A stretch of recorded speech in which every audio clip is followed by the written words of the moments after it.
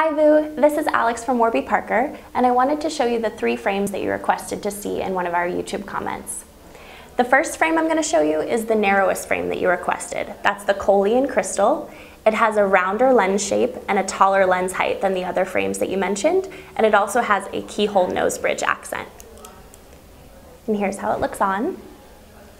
The next frame that you mentioned was the Zagg in Tennessee Whiskey. Here's the Zagg. It has a bit of a thicker temple arm, it does not have a keyhole nose bridge, and it has a shorter lens height. It's also a bit more rectangular. And the third frame is the widest that you mentioned. That's the Wilkie in Eastern Bluebird Fade. Similar to the Zagg, it does not have a keyhole nose bridge and it has a more rectangular shape, but a little bit of a thinner temple arm. And here it is on.